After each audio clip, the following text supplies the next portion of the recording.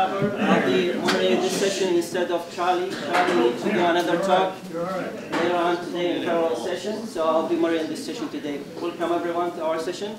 So uh, our first speaker is Dr. Charles Sanchez from the Department of Soil and Environmental Science. Charlie? So the title of our presentation today is Salt Risk Ultimately Become the Limit to Improvements in Irrigation Efficiency in Our Cropping Systems. And this is the area we're talking about. This is the study area we've been working in now for two and a half years. It's essentially our local seven irrigation districts. Over the years, we have got a handle on the hydrology for irrigation. Over the years, we've calibrated our models and we validated our models with independent data sets. And that's what this does. It just shows the relationship between observed and predicted due to these models. We've also developed models for our sprinkler systems. So we have a good handle on the hydrology here. And this has enabled us to provide direction and operating these systems for maximum efficiency. These are some of the models we published. It's just a manifold model, although we also have a gradient model, which the math equations are solved in matrix form. And more recently, with the help of Dr. French, we've been getting a better handle on the evapotranspiration of all the crops in our rotational system. We monitor salts. We, of course, we measure the electron, the conductivity of the water in the saturated paste extracts. In situ, in near real time, and through surveys, we measure bulk conductance. And we can go back and forth between bulk conductance and ECE through selected algorithms. Bulk conductance measures the conductance of the solid and liquid phases. So if we want to get back to an ECE where crop tolerance is already expressed in terms of ECE, we have to go through these algorithms to go backwards in our calculations. This is some of the instrumentation we use. This is an electromagnetic conductance unit. We've used both the Veris and the EM38. We're partial to the EM38. We use it most often when we have to straddle furrows. Of course, we go in with a Spra-Coupe I bought, stripped off all the booms and everything, and we use it to tow our EM38 through systems in which the beds are listed. A little bit about what it takes to remain sustainability. We have salts in our irrigation water. Our soils have salts. The shallow groundwater has salts. So we have to employ a leaching requirement to remain sustainable. Otherwise, salts will accumulate to problematic levels. One thing I want to note, and I'll say more about this later, this assumes steady state, mass balance. It assumes salts going in must come out. And more recently, we found out that we may have to use some transient models because precipitation is more important than we previously anticipated, precipitation of carbonate-related salts. But to the extent that this is an error, it's an error towards conservatism with respect to crop protection. It might overestimate rather than underestimate a required region. So as a starting point, we'll stick with this until we have a better transient model. This is the cropping system we studied. Of course, we start with stand establishment. We go through the irrigation management of the vegetable crop, then we go into our rotational crop, and then ultimately we have this pre-irrigation before the season starts over again. And through this entire cycle, we've monitored the salt ball budgets, the water inputs, and the ET, and done comprehensive mass balance. I'm going to focus on salinity. My colleague, Dr. French, will focus on water.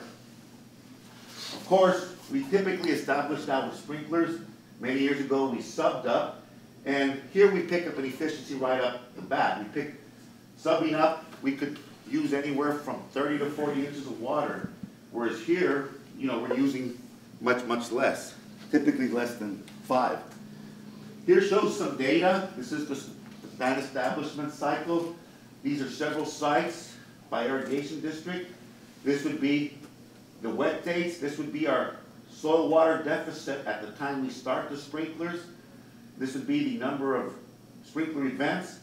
This would be the total runtime, and this would be the water we applied in that stand establishment event.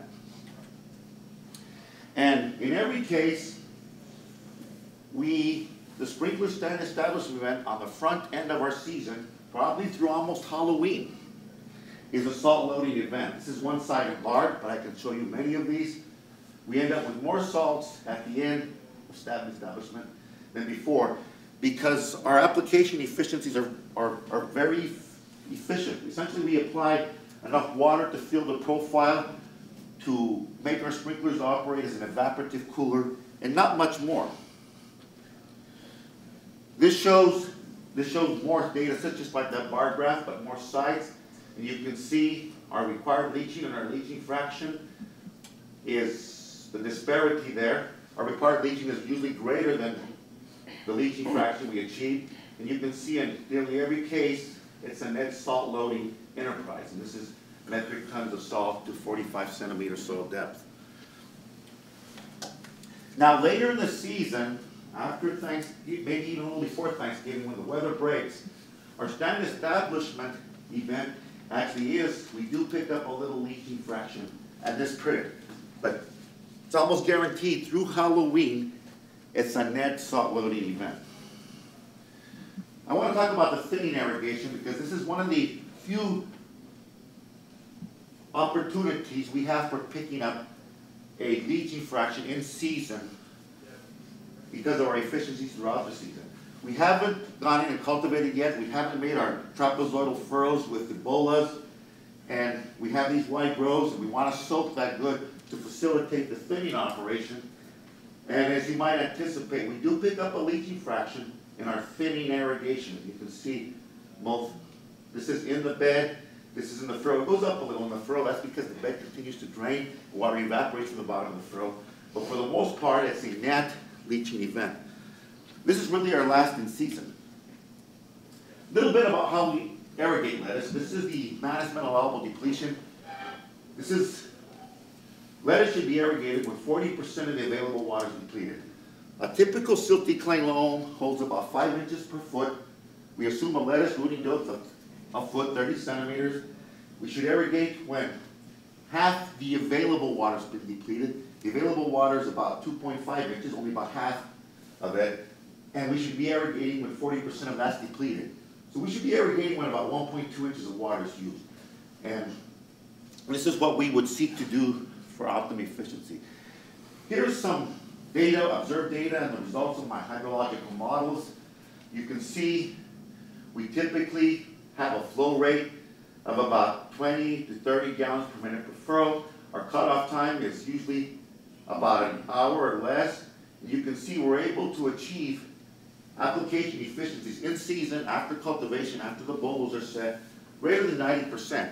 And because the steady state infiltration rate of our soils are low, actually about less than five inches per day at, at, at saturation, we achieve high distribution uniformities as well because our opportunity time for deep percolation relative to the advanced time is very small. Now a little bit about ET. This is typical data. Dr. French is going to show you a lot more of these. I just want to touch base. This is cumulative ET over the lettuce season. This was the winter lettuce. Uh, we get very similar results. On the front end of our season, we're using 10 inches of water. That would be the fall planting. On the back end, our last plantings, we're using 12 inches of water. That's because the back crop is a lot longer crop. And it's not transpiration that's increasing, because transpiration is tied to carbon fixation. But the evaporation is tied to opportunity time in the field. So we go from like 10 to 12 inches, and, and we, we repeated this across space and time, and we're very confident in those numbers. A little bit about net salt loading over the lettuce season. Here we have salt before pre-irrigation, before lettuce and after lettuce. You can see in our vegetable season, it's a net salt loading event. And that's because we're irrigating very efficiently. We're not achieving our 20% required leaching fraction in season. Now I want to say that's not a bad thing because that's enabled us to manage diseases, particularly one of the two species of Sclerotinia. It's enabled us to manage nitrogen more efficiently. When I came into the area three decades ago, a 400 pound per acre nitrogen rate wasn't uncommon. And now we're typically using 200 or less. So this isn't a bad thing that we're shifting our required leaching outside the management period. but you can see that we are indeed doing that. This shows some field wide maps of salinity. This is one of the wider, this is a sandy loam, actually, the, one of the few we have, actually. And you can see that salts increase. This is before lettuce, and this is after lettuce. Just another way to present the data, shows a filled white map of salinity. Wheat. Wheat is a common crop in our rotation. Here's some ET data. Dr. French will show you more of these. Wheat quite consistently uses, ET as two acre feet. You plant January 10th or you plant, plant March 10th, that's going to use two acre feet of water. That's the ET of wheat, quite consistently. But wheat, we're irrigating it so efficiently as well. Here we go through the pre-irrigation, the lettuce, the wheat. Wheat also is a net salt loading event. Wheat has a higher tolerance for salt than lettuce, so this isn't a bad thing. It can endure the elevated levels, but then the pre-irrigation we implement after wheat becomes, becomes of paramount importance for restoring sustainability to the most sensitive crop in this rotation, which is lettuce.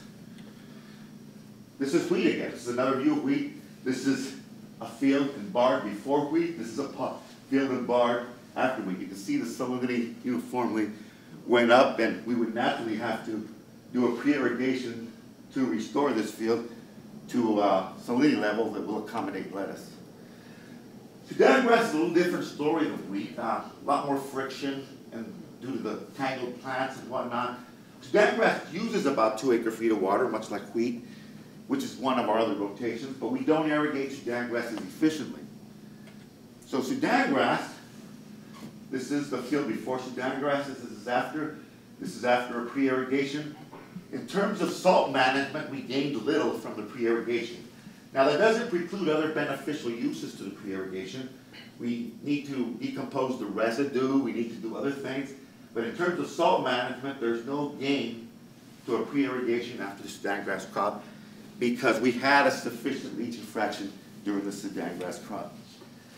Uh, this is a pre-irrigation. You can see pre-irrigation does reduce salinity. As I noted, it's of paramount importance in our system to getting our season-long leaching fraction of 20% because we're not getting that in the main crop, we're not getting it in much of the rotational crops, although some we are. And we would not remain sustainable if we didn't do that pre-irrigation. Now, to the extent that our pre-irrigation is effective, the good news is it preferentially takes care of the bad actors. You can see we can get a reduction in sodium and chloride, which is what we would desire because these are two problematic, one problematic cation, one problematic anion. I want to talk about a little bit the, the salinity we're talking about. These are the cations and anions that we typically talk Here's what we typically find in Colorado River water, and this is what we typically find in the saturated paste extracts of our soil water. What's interesting is the elevated carbonate levels. In a teaspoon of soil, we have billions of microorganisms. They're all respiring, they're all cranking out CO2. So the CO2 in our system becomes huge. And we've done some thermodynamic modeling and we can see we exceed the KSPs for a host of carbonate minerals. This clearly shows that with respect to some of our salinity, precipitation is happening to, to a much greater degree than I anticipated. And this is partially mitigating the salinity. So this is why I say the steady state model is probably not the appropriate model. Fortuitously, it's conservative from the standpoint of crop protection, but you can see we're, we're trying to develop some transient models that explain this dissolution and precipitation that's going on in our soil root zone. So to summarize what I've told you in the past 15 minutes is our irrigation efficiencies are very high with furrow irrigation, exceeding 90%. And we are not reach, achieving the required 20% leaching fraction that we need for continued sustainability in season. That's not a bad thing, like I said, we can push it off out of season, that enables us to manage nitrogen, manage diseases a little better. The extent to which the rotational crop contributes to this leaching fraction varies. Wheat does not. But that's not a bad thing either because wheat has a higher tolerance, and will endure higher salinity temporarily. And that enables us to manage our nitrogen in our wheat crop and avoid dockage for low protein in our durum. But what's key is pre-irrigation is of paramount importance for sustainability. So it's, it's a controversial thing. People drive by and see us running water in an empty field, but it's paramount to sustainability. We're gonna have to develop some transient models. Clearly, the steady state models that we're employing are falling, up- falling short. And finally, with the help of my colleague, Dr. Francis, and some others, we're trying to develop more user-friendly tools to track ET in our production systems. That's all I have to say. If there's any questions, I'll be happy to answer them. Bobby, I'm always good for the first question. that's good, that's good. Yeah, okay, so the entire time I was designing the irrigation system, I used a ten percent leaching factor for this area, and it seemed to work pretty good. So now the university is recognizing twenty percent leaching fraction as what is. the- If you, if you, if you plug in the tolerance for lettuce, it's twenty percent. Okay, okay. I just don't want to do it wrong. Well, like I said, our twenty percent may be a little too conservative because steady, the steady state model is skewed in that direction. So maybe, once we get the transient models working, maybe just incidentally, your ten percent may work, I don't know. Well, you know, you're, you're, That's uncharted territory for me.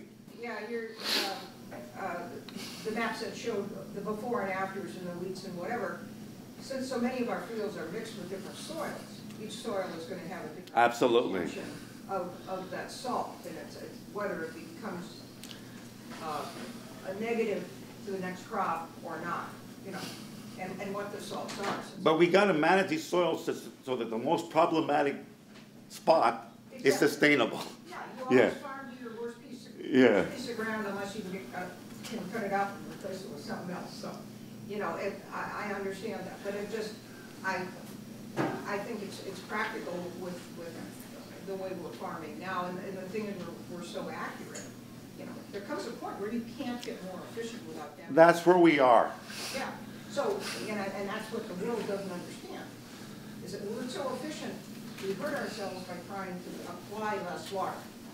And that's a big message that doesn't get out anymore, and I would like to see the university talk about that more. The fact that you can, you can, you can save yourself out of business. Any other questions? Yes, sir. So in terms of pre-irrigation, we're talking about Sudan, we're talking about wheat, we're getting some gain there, but not always, so. We were not getting none. We, we lose even more ground, but fortunately the crop is tolerant, so it, it has no catastrophic effect on the crop. So then I guess my question is, how many acre feet are really required, and should we be doing that in one pre-irrigation or breaking up into two irrigations? That's a good question. Here's the deal, let me put it in some math. If lettuce is using one foot and wheat is using two, two feet, your leaching fraction of twenty percent on that three feet is seven point five inches. So, your pre-irrigation, you would think, well, it should be seven point five inches if we were nearly hundred percent previously. But it's not, because in that pre-irrigation, they're doing it in August. And two inches of that pre-irrigation evaporates from the soil before you get back in and rework the land. Yeah. So actually, on a twenty percent leaching fraction, your pre-irrigation is a little over nine inches. It should be, if you were hundred percent up to that point.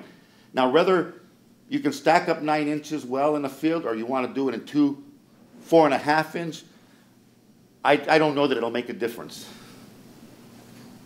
So then it's also the timing factor of when we actually gotta get in there and plant. How much time I Absolutely. have How much time you have to do it.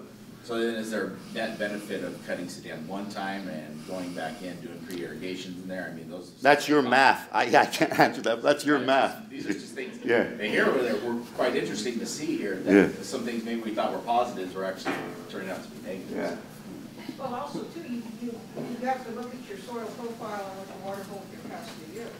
So if you're in a sand or a lighter soil, you're only gonna have a three inch or four inch in the whole five foot profile. So if you're putting nine inches on, you're just putting it down. Yeah. China. If you have a water table problem, or you're a piece of high ground that has a, a low field next to you, or you're just moving your problem from one field to the next. So you have to look at, at all of those factors as to whether that's gonna be the, the most effective way. Now, any other questions? I have to go to another parallel session, so I'll answer questions now because I won't be around at the end to answer questions. So if not, I'll move on and our moderator will introduce the next speaker. Thank you all. All right, our next uh, speaker is Dr. Andy French from USDA. Well, good morning. Uh, I'm going to disappoint those people that like to hear about soils. Uh, Just, I've been reading last year about not talking about soils. I won't talk about soils. I'm going to talk about evapotranspiration measurement. I'm going to focus on the, the techniques for measuring it so that uh, the audience at least has a better appreciation of what these machines are all about. Because, uh, yeah, they're machines and you can press a button and go, but there's a lot more involved in that. And I think an appreciation of, of what has to happen behind the scenes to make those machines work and give you good numbers for evapotranspiration would be illustrative. So that's what I'm going to focus on. I'll also talk a little bit about the evapotranspiration of wheat and, and, uh, and lettuce, but Charles already presented those numbers, so there's no mystery there where we're going with, with those numbers. Uh, of course, acknowledgements, uh, this is, this is a big project. We're two and a half years into this from the Bureau of Reclamation funding, which began my involvement, and began, and some of that work began before that, we have lots of people to thank, including uh, YCEDA, uh, USDA, uh, people at NASA Goddard, NASA at JPL, and the technical staff here. So what I'd like to talk about here is how we quantify the water used by crops. So those are the numbers that Charles has presented to you. We want to go, go towards an efficient monitoring system, which uh, the speaker after me, Pierre, will discuss some of the remote sensing work of that. So we're doing today is we're using the best possible technique for measuring crop water use. But those are not practical tools for routine regional synoptic observations. So we want to transfer that knowledge, those baseline water use measurements, to routine uses from remote sensing. And then lastly, we want to be able to use our techniques and models to forecast it, because it's not very useful for you. If we tell you how much water you use today, we want to know how much water you expect to use in the next week or so, so you can plan your crop season. Well, so how are the methods done? Well, this one goes back to the 1960s at least. This is the gravimetric soil moisture measurements. We go out there and collect uh, soil samples. This was done by Leonard Erie and others, uh, and that's a major publication you're probably aware of. And these are aggregated over decades of water use. So you go out, you collect some soil samples, you dry them, you measure the, the water depletion, and you come up with curves such as this, which shows you, in this case, lettuce, and giving you eight inches and shows you where it's used on a biweekly basis. The numbers are very, very good. They're applicable for the Mesa, Arizona area, and not necessarily for, for the Yuma region. So a lot of people may use those numbers as, as a baseline observations. But these are expensive to collect, time-consuming, uh, and not representative of current practices. Um, another method that's commonly used, mainly in research, is the neutron probe. So you, you um, auger some holes in your, in your fields, you, you monitor those at multiple depths uh, before and after irrigation, so you get these moisture profiles. This is another well-established old technique. This is this is uh, this is from a paper uh, from um, Canadian prairies in 1960s, I believe. So this is gives you so much probe. We still use the same technique. Very accurate to around a 60 centimeter radius of the borehole gives you very good numbers for soil moisture, and if you use the depletion approach, you can get a good crop water use technique. But it's expensive, and you can only get episodic measurements, and you can't get um, continuous full season without a lot of effort. Bowen ratio, this is a technique, again, that's been around for a long time, a very nice technique, it's an energy balance approach. It, it looks like the technique that we currently use, and I'll describe in more detail, uh, it's a sophisticated weather station that also includes a net radiometer and soil heat flux measurements. You set up a tripod and power supply, and you're measuring essentially these three components.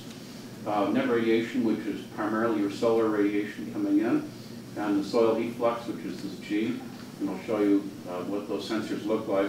And then this uh, uh beta factor, which is a Bowen ratio, which is just the ratio of of sensible heat to latent heat flux. We want the latent heat flux. And this technique doesn't measure that directly, but backs it out by ratio. So It's a moderately cost technique, it's been around for years, pretty reliable, may have a bias, so it's not considered the best possible answer ET observations. Lysimetry, this is another gold standard for evapotranspiration measurement. Obviously not a practical tool for measuring ET in different field locations, but if you have a single experimental site, they can be excellent observations of, of crop water use. But you have to take a lot of care to make sure whatever you plant inside that box is the same thing outside the box. And so this, this is a, a technique that's been well established by Terry Howell and others in Bushland, Texas, and other places around the world. Expensive, very expensive technique, but very good numbers. Uh, weather stations, this is your e- sort of econo measurement of ET. Right, so you can measure weather quite inexpensively. You can put on a pole, you can have maybe a tripod with weather, weather instruments, and then you can apply crop coefficients, which are strictly based on experimental studies such as we do in Maricopa. And then you can get what we call a standardized ET. So these aren't, these aren't the evapotranspiration numbers uh, that your crop necessarily is doing. It's what a crop under standardized conditions would be used. And that's why the Arizona um, um, Met Station network is extremely useful. You, you can take that network, uh, such as three of them here in, in Yuma Valley, and you can apply crop coefficients. You get a pretty good estimate of how your crop's doing on a daily basis. But again, it's a standardized condition. You have different practices away from the calibration, then it may not be so accurate. And so this is, this is how the, uh, a seasonal um, water budget ET uh, value would go. You show that the, that there's lots of fluctuations on a daily basis, as you can see by the black circles here, and you have these periodic spikes in evaporation due to irrigation events, as indicated by the red arrows. So what I'd like to show you is a little bit more detail to take some of the mystery out of the, what I call eddy covariance technique. Uh, we have eight of these stations, well, seven or eight of them, uh, currently deployed in the Yuma, Yuma Valley. This is uh, a major undertaking, and I thank Mazen and others for uh, learning the, learning the deployment approach, uh, doing it efficiently, and moving in and out of the field to accommodate farm practices. Um, the core of the instruments are shown here. On the left-hand side, you can see it's deployed um, with tripod, power, uh, power supplies, solar panels, instruments, and a close-up shown here. Here's the sonic anemometer, which is a sensor for one of the energy balance components, and here's the infrared gas analyzer. Total cost of these stations is around $40,000. Well, this is, this is the mass slide that I'm told I'm not supposed to show, but this is what takes away the mystery of how these stations work. You say, well, it's just a machine, put it out there, push a button, put the data logger, and out comes uh, crop water use at 30-minute intervals. You can do that, but it's best if you know what's going on behind the scenes, and I want to explain some of that. The way this works is that we measure the deviations from the norm. So we have wind blowing at a typical speed, say one or two meters per second. We look at the deviations away from that norm. And we also look at the deviations away from the norm for water vapor density and for temperature density, temperature uh, values, so air temperature. And those are what we call the fluctuations. So this, this technique called Reynolds decomposition is about 100 years old, and it's illustrated here on the on the white panel here, and it shows you this is U, which is wind speed in the vertical direction. So we decompose the wind speed blowing across your field into horizontal, two horizontal components and a vertical component. We're interested in the vertical transport of water through the field and the vertical transport of heat through your field. So we decompose that into a mean value and a, and a, uh, a transient. And using uh, Reynolds averaging, which I won't go into here, you get the bottom equation, which is fairly legible here in the and the light. Uh, essentially what we're doing is we're getting a time average estimate of sensible heat flux and latent heat flux, which is the evapotranspiration at uh, 30 minute intervals. What do the what do the data look like when you zoom in? Well, these data record at 20 hertz. You're reporting this thing at half hour interval and aggregate them at daily levels. So we want ET at daily time steps. You know, how many millimeters per day, how many inches per day are you getting for the field? But we're recording this stuff at 20 hertz, and this is how the data are processed, and it shows you here what's going on in that finest scale detail. If you look at the three different colors, we have wind, which is this blue curve, or these blue dots, uh, and then, and then you have the water vapor density with that infrared gas analyzer is the green curve, of the green dots, and the temperature is the red. So what this eddy covariance techniques does essentially correlates the relationship between the blue and the red for temperature, and the blue and the green for water vapor. So if they vary together, that's the covariance. In a positive direction, that means the water vapor is going up. And if, if you have condensation, they would be out of phase. We can see here, this is Bermuda grass out, uh, east of here in the Wellton area. The, the wind speed is out of phase with the temperature, which shows that there's heat being sent into the crop and there's water being sent up into the atmosphere. That's how the technique is working. These are the core sensors that go into the eddy covariance technique. Four of them, the net radiometer, which is uh, a simple looking device here that measures long wave and short wave radiation. Is up here, you have these sensors, four of them, for detecting the downwelling and the upwelling radiation. You have soil heat flux plates. Well, these are the most problematic for deployment because uh, they can interfere with field operations. If you go on and cultivate, are cables in here that'll be dug up. But these are essential for closing the energy balance and knowing how much energy goes into the ground. And then the, the core of the, the energy suite is these two devices that you've seen earlier. This is a sonic anemometer, which measures the wind speed and air temperature uh, in three different directions. And here's infrared gas analyzer that has um, a broadband infrared beam that bounces back and forth between here and a chopper motor, and it measures water vapor and CO2 at 20 hertz. So here are the components deployed in the field. You have sensors, you have the uh, mounting enclosure, data logger, power supplies, batteries, cell modem, so we can check the operation of it. The total cost I mentioned is around $40,000. With field operations, just have to be moved in and out uh, to get out of the way for any spray or cultivation activities. Uh, So it's a major undertaking to collect these data, but it's still considered the best possible observations of crop water use. Uh, So here are some of the data collection procedures. We have to change the memory cards every 10 days, so we have to get in and out of there um, uh, and dodge irrigations.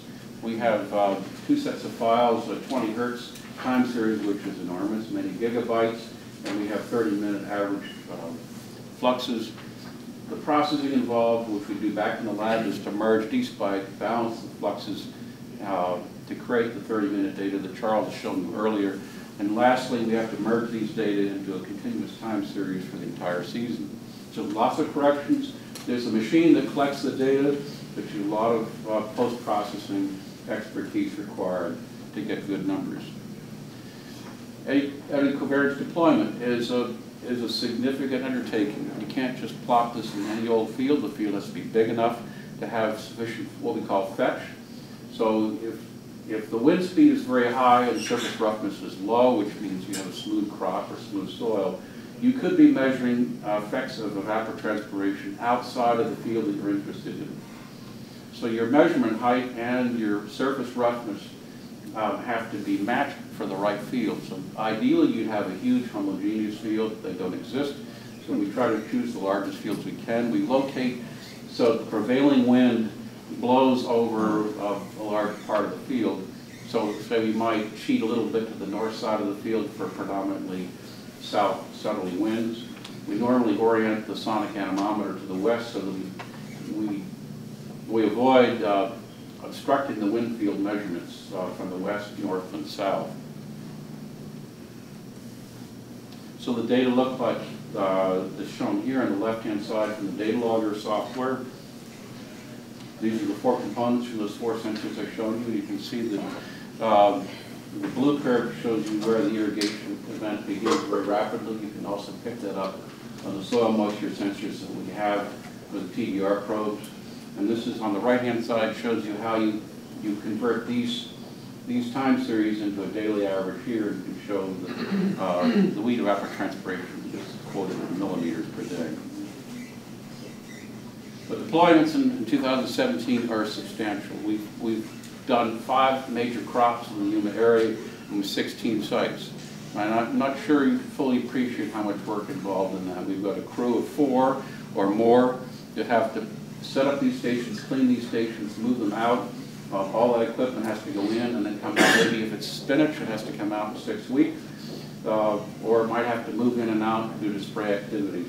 So we've we've accomplished uh, all these uh, 16 sites in 2017, 2018. We did uh, two locations in 2016. We just started up the project in 2019. We're doing more crops. So now we've looked at romaine, iceberg lettuce, spinach, wheat, uh, Sudan grass. Uh, As Charles shown in previous, show, here's, here's some of the ET data. See what it looks like on a daily basis, if that is of interest to you. That shows you the effect of um, irrigations and how, how rapidly the, the water use uh, decreases over days with the spikes here. And then in the aggregated, if you're looking at seasonal water use for the different sites. And the slope shows you the deviations from the norm, so it aggregates that and shows, for, at least for lettuce, that we're getting around 200, in this case 250, 240, as low as 206 millimeters entire seasonal water use for these different sites. Uh, very consistent numbers, I'm totally agree. Uh, for wheat, uh, the is different. Of course, the season is warmer for, for when you end with the wheat crop, so you'll have higher evap- evapotranspiration. And now we're up to around 500 to 650 uh, millimeters for seasonal crop water use. This is showing two sites, and we have more sites uh, that are not fully analyzed, so I won't present them today. Uh, Large aperture scintillometer. Uh, So one of the shortcomings of the, the eddy covariance technique, even though we consider that the best, is that it's very specific particular field. And if we're interested in more regional analysis, and if we're interested in bridging the gap between measurements at a points, point location and a satellite observation, which is where we're headed with this technique, we need, we need techniques that, that scale larger distances. And the LAS, what we call the LAS system, is such a technique. Um, Currently, uh, they're, they're mounted on Smith Farm, and they'll, they may be located over Citrus in the next year or so. I'm not sure the timing of that. Uh, This is the, this is an illustration of it. They have two sensors, one's a transmitter and one's a receiver for an infrared beam. And the transect is shown here um, along these two transects here, and then underneath it, we have eddy covariance stations to validate the observations. Ordinarily, you wouldn't need that validation data. So how do these techniques work? Well, they're completely, almost completely different from the eddy covariance technique. They use what's called structure functions, which I won't go into detail, but I list for your appreciation. We measure this. We measure this number that's called CN squared, which is the sort of the effective turbulence of the atmosphere across the transect that we measure with that infrared beam. And we convert that into a temperature turbulence term here, and then we convert that in terms of sensible heat flux, which is uh, the amount of temperature energy coming out of the soil. And lastly, we convert that into uh, evapotranspiration by subtracting by residual from the net radiation. So daily curve, the data from these stations looks like this. Um, Shows you that it has strong transitions at sunrise and sunset, and then during the day, it's nearly constant. Well, the next speaker will, will delve into more detail about uh, remote sensing, but let me, let me point you where we're headed. So we obviously have put a lot of effort into getting a baseline crop water use for Yuma, because those numbers badly needed to be updated. And we're confirming in many cases the very high water use efficiencies applied locally. Uh, But we can't use those techniques on an ongoing basis. They're too expensive and impractical uh, for continuous use. Have weather stations, that's fine, but for eddy covariance, no, we can't do that. So we're looking for remote sensing. Well, there's really a revolution going on right now in satellite technology with CubeSats. I mean, it used to be that you just have one satellite that go over every 16 days, and if it's cloudy, you've got nothing for a month. And so to, to promise farmers and irrigators and water managers uh, water planning tool for remote sensing was, was not at all credible. You couldn't possibly get the observations you needed to make your decisions. But with CubeSats, we're now having observations every day or every other day. If the weather's cloudy, of course, you still don't get it. But now you're very likely to be able to get observations uh, weekly or better in the visible near infrared and potentially in the thermal infrared. And if you have both of those, you'll be able to solve the energy balance the way we've been doing on the eddy covariance. These are some of the observations that are uh, possible now from the satellites I listed here. Didn't want to advance, here we go. And what we hope to get, this is an older slide of mine, but this, the concept is the same. Ultimately, we want to be able to get a map such as this is from central Oklahoma, where we just have a daily evapotranspiration map based on remote sensing and calibrated based on local observations that we've taken a great deal of effort to collect. In addition, we would be able to use th those daily maps and climatological data and model forecasts and crop models to give you 10-day estimates of crop water use. So that would be very useful if you had a tool, at least um, a simplified tool to give you an estimate. What's the likely water use that you're going to have in the next week, or water requirement you're going to have in the next week? And also, more importantly, what's the uncertainty of that? Because sometimes we don't know, very, we don't know what we don't know, right? So if there's been bad weather or there's been a lot of uncertainties, we provide that number too. So we have a mean value that figures out how much water use we think you'll need to order, and then a second number with the variable bounds is indicated on the curve on the right. Uh, very recently, uh, in the last year, we uh, NASA launched ECOSTRESS, which is a thermal infrared satellite on the space station. And, and, a couple of us are on the science team for that satellite. Uh, this collects thermal infrared data at 60 meter resolution, not the best resolution for farms, but still uh, the best possible we can get right now. This is an illustration over Yuma from the end of September. And so, so it's, the resolution's good enough to pick up all the center pivots here. Here's, here's the U.S.-Mexico boundary down here. Here's Interstate 8. Here are the mountains as you come in off of the interstate. So you get an appreciation of kind of temperature resolution. Those temperatures can be used in energy balance models similar to what I showed you in the eddy covariance to get a daily evapotranspiration estimate. Uh, perhaps more compelling is the uh, high-resolution visible near-infrared data now being provided by the French-Israeli project called Venus. Venus data freely available. This is an example of tile. Courtesy uh, of CNES, CNES, which is the French agency providing these data, uh, they, they moved uh, an acquisition directly over Yuma last November. We are now getting over Yuma area every other day images such as these. You can just appreciate what they look like. Here is the multispectral data, um, zooming in. So this is, this is over where the georeclamation facility here is. Here are fields between it and the uh, University Ag Center. The resolution is five meters. You can do a tremendous amount of uh, within field monitoring of crop density with data such as these. And the latency of these data is very low. It's around three or four days. These are freely available. Anybody now can go get them. Uh, the project doesn't go forever. It'll go for another year and a half. But to me, this is showing where the technology is going. We're doing the, the ground observations to validate actual crop water use, but we're developing techniques for remote sensing to provide you with the information on what water use is uh, happening now uh, within the field scale and also the tools to, to model, model crop water use over a period of about a week. Uh, 2019 to 21 plans, if, we are fortunately uh, funded that long, we're going to look at these following crops here, broccoli, cauliflower, celery, cotton. Uh, cotton's definitely in the bag for this year for a comparison between the short season and, uh, and long season crop up in Maricopa, uh, baby leaf, citrus, and alfalfa. Uh, and just to repeat where we've been and where we're going, Um, We've spent three years, uh, very intense years to develop baseline water use. We'll be publishing those numbers. I'm not presenting them all today because we want to get them through peer review. We've been deploying eight eddy covariance stations and two LAS stations um, to retrieve those numbers. I wanted to give you a full appreciation of the technology required to make that happen, not a trivial effort.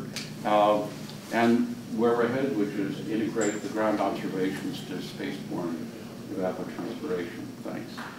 Yes, sir. Um, I use the Leonard Erie stuff, since I, I worked with him back in the fifties. Um, Is there a significant difference or a percentage that I should add to water use figures that he produced for teaching purposes of kids on, on uh, scheduling water, water, water use, things like that? Or can I just use what I got until we have some new curves?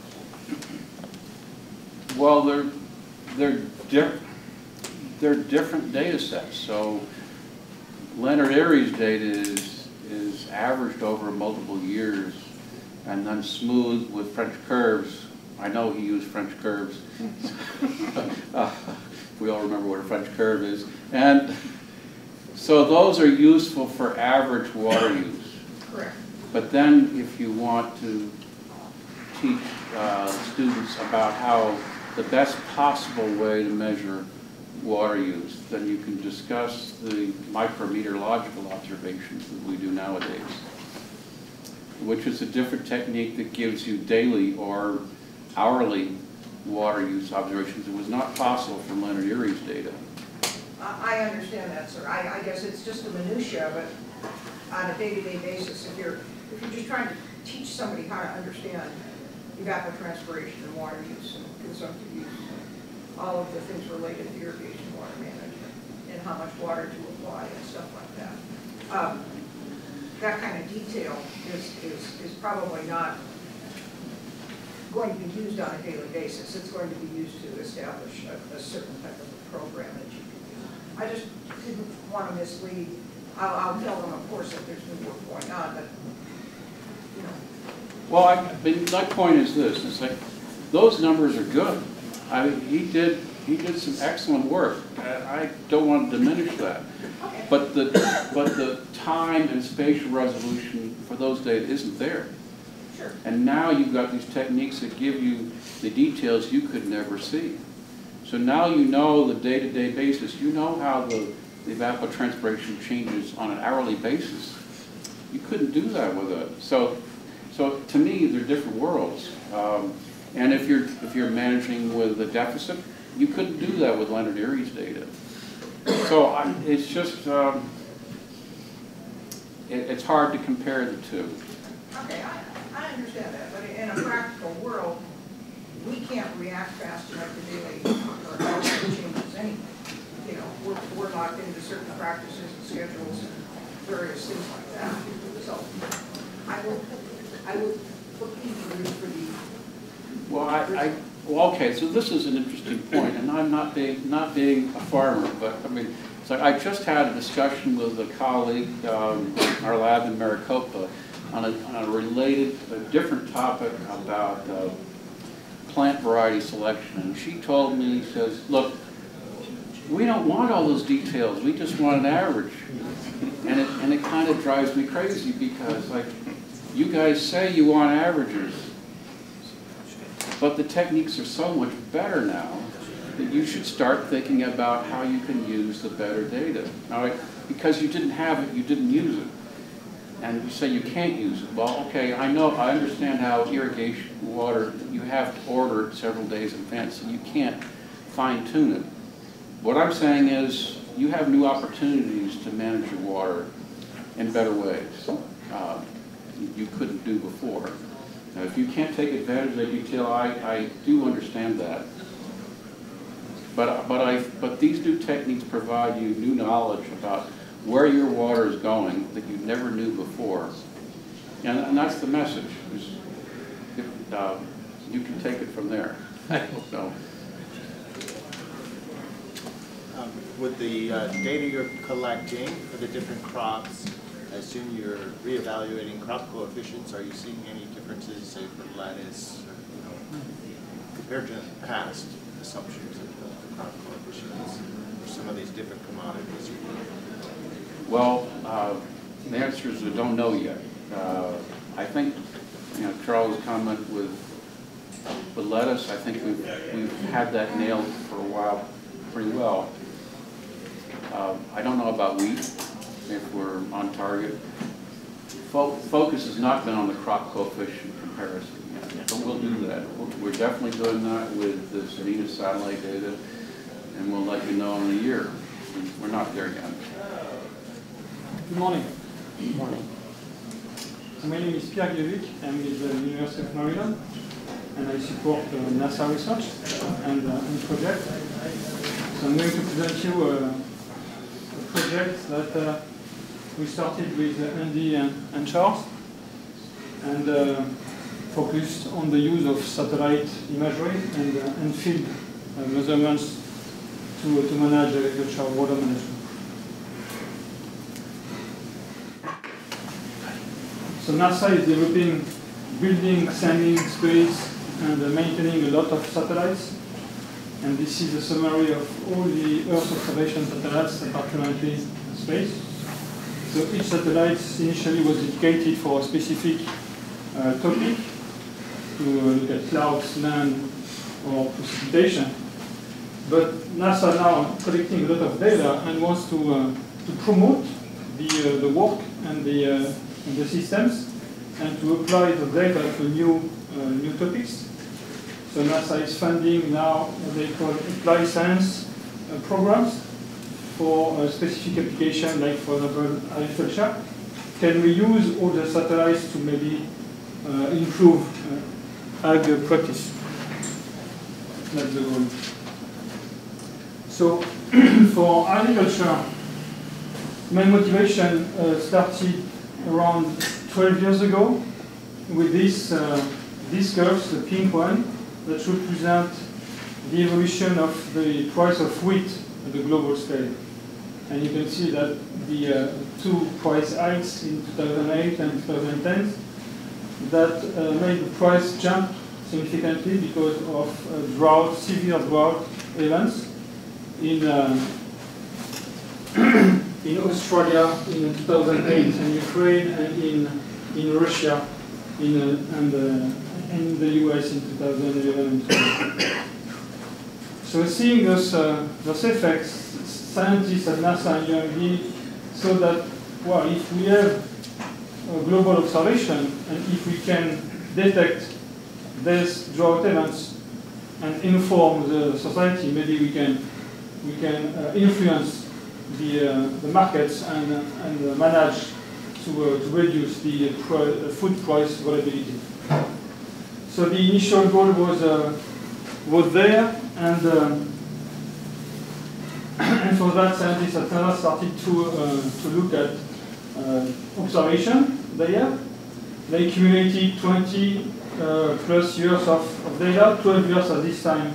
So the, this is an image in 2012. And so with 20 years of data, you can have a good idea of the uh, average cycle.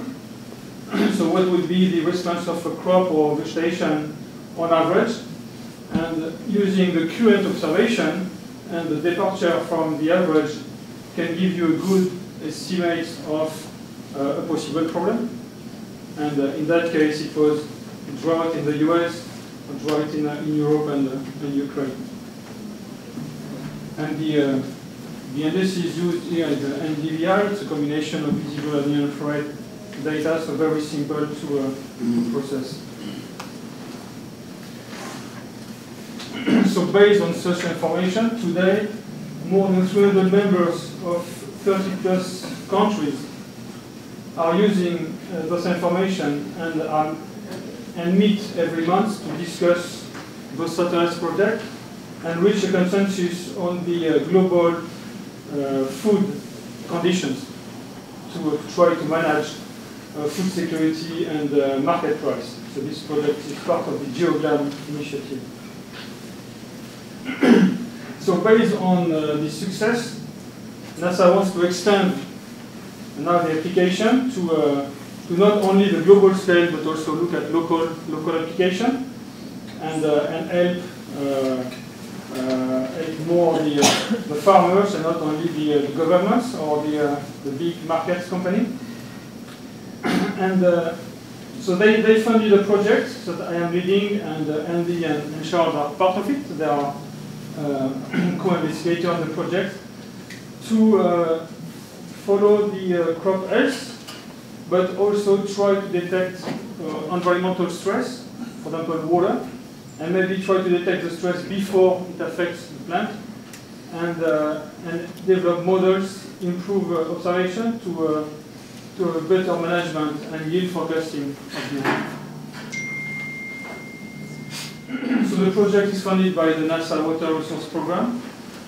So the goal is to use all the available satellites, uh, US and European, to improve uh, agricultural water management. So there are more than 30 partners in the project in four different countries, mainly the US, four different sites. Here, and one is located at Yuma, based on work that uh, Andy and Charles are, are doing. One is South Africa, one in Argentina, and, uh, a site in Tanzania.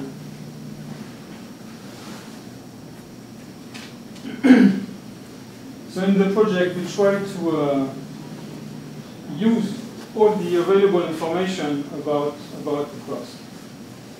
So we have, uh, so what Charles and Andy show you, it's the, the field scales where, where you have the knowledge of your fields and your practice and, uh, and your crop. And there you can install station and really measure accurately uh, parameters of interest for you. So at the farm scale, more and more the drone uh, are, are developed and then drone can, can map uh, parameters through, uh, through large farms and you can study the variability within a field or between, between fields, so very promising techniques. And you have the satellites, so more and more satellites uh, today available, uh, more and more commercial also, also uh, options at very high resolution. But the more you're far from the surface, the more dilute the information is, so the more uncertainties you have in the, in the satellite project. So the, uh, the goal of our, our project is to, uh, to combine all this information and new techniques. So one of the new uh, techniques we like to, uh, to use, and uh, Andy's introduced ECOSTRESS, so it's based on the thermo-infrared observation. so when the plant is uh, subject to stress, we close its uh, stomata to reduce evaporation and then increase temperature. And with a thermo-infrared instrument, we can measure the uh, change in temperature. So this is an, an example. so this is a airborne flight the JPL plane. I was in the plane over a vineyard in California. so this is this is a vineyard, and this is the temperature measured in July. It's a two meter resolution. And this is the yield collected by a Gallo wine at the end of the season in September. And, and you can you can see that there is some very nice correlation between the red and the brown, so the hot area and low yield, and the blue and the green, so the, the coolest area, so where uh, water stress is less, and the, and the green. And this is what one date only in July. So we think that if we can uh, use this kind of information before enough uh, the hours, maybe we can uh, provide information for action on the field. In that case, it was due to soil characteristics and problem with the uh, irrigation system. So if, for example, the uh, farmer or grower can use this information before maybe can, can, can act, and in this case, they are, they are improving their irrigation system. So thermo-infrared also what we, uh, we want to, uh, to explore, it's not easy to, to see uh, with real data, is should provide information before the, the plants start to die. So in visible near infrared, you can detect a change when the plants from, switch from green to yellow or brown, so start dying. In, per, in, in thermal infrared, you can detect maybe change when plants start to close its uh, stomata. So here an, an example using Landsat imagery. So on the left is a leaf index, vegetation density derived using visible and near-infrared information. On the right is evapotranspiration derived using thermal infrared. We selected the two, two sites, I don't know if you can see them, it's here and here. So in the visible bands, the two sites look the same, and they are have the same level of green, so the same vegetation density. But in the thermal infrared, you can see they are totally different. And uh, in that case, maybe one can be irrigated, or the other one no, or one system, irrigation system for, for this one can, can uh, was not maybe working properly at this time. So, but at least you can detect a possible problem before a change in, uh, in, the, in the plant. So how we try to uh, gather all this information at different uh, resolution. so we have uh, the heart of the, of the system is a crop model here. That is simulating the carbon, water, and nitrogen cycles and uh, simulate the growth of the plant. So this kind of model needs a lot of information to, to run. So you have uh, a lot of information we need to run this kind of model. So for example, the model needs a lot of uh, data regarding management, irrigation, fertilization, a lot of also uh, dating, and uh, needs some uh, weather information and soil characteristics and the surface types if you want to, to scale the, uh, the approach. So if um, uh, so we work with um, with growers and farmers to get those information to be able to calibrate the, the model. So the calibration process is we tweak, tweak, tune, we adjust the model to try to represent the truth. So we use satellite information, ground-based measurements, speed up the model, iterate, and find uh, good calibration coefficient. When the model uh, represents enough well the, uh, the truth, so users can use it avoiding all this big machine behind. So this has been done. It's transparent for the users. So the users just have uh, scenarios of different management, and you have the input of the, of the model.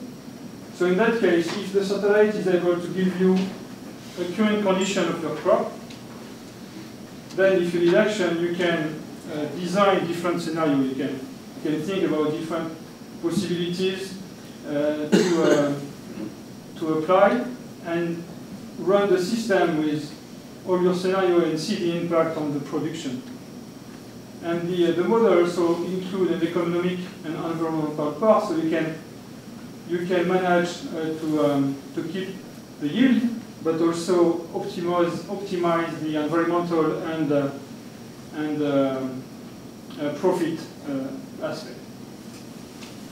So that's what we um, what we we are we would like to uh, we like to do and we like to do uh, online in an interactive system. So you can you can directly modify what you want, push a button, and and the uh, the model is running, or someone at UMD is running the model for. So this is an example of uh, result from the project.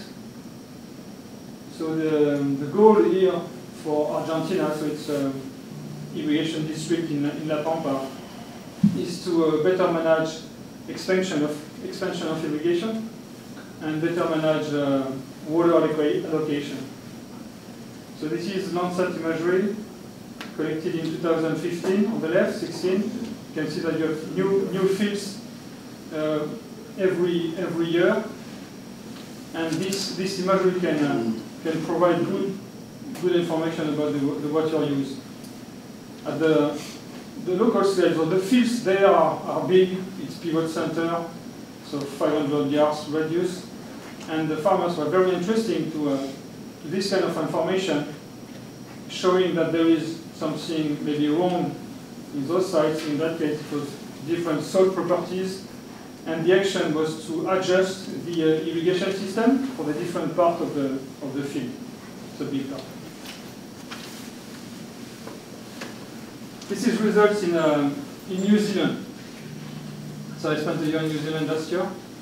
I was working with a, a consulting company that is providing irrigation information to farmers.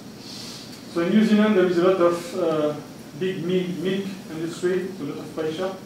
Lot of rain as well, but not homogeneously distributed through the year on the country. So a lot of irrigation. In that case, they are irrigating more or less every day. so to manage irrigation, they, uh, they use soil moisture probe, and this company especially use soil moisture probe, and they, uh, they install one probe per field. So the fields can be sometimes very large, so 200 plus acres, and they just have one point measurements to manage uh, soil moisture and then provide information for, for irrigation.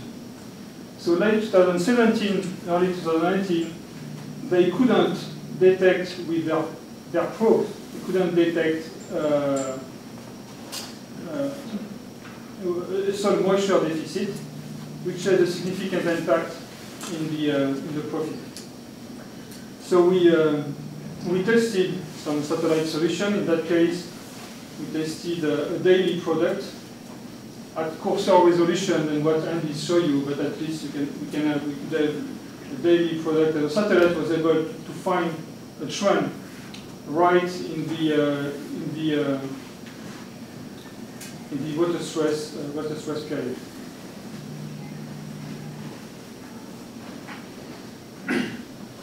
So to uh, promote satellite products and, uh, and facilitate the use of satellite products, we are developing a website, interactive. So it's a project website, so it's mainly focused on the, uh, the partners, so the sites that are defined, the seven sites defining the project. So the address is, uh, is there.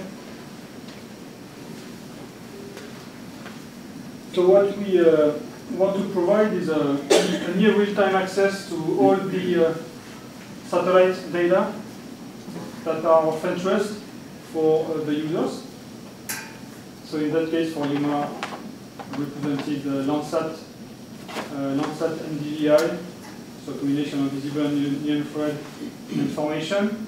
And, uh, and the system is not efficient like Google Earth, but what we try to do is be able to zoom different part of, of the map and, and see specific specific field.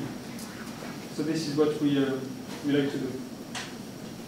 So I don't know if you see, but you can select the sites, you can select the product you want.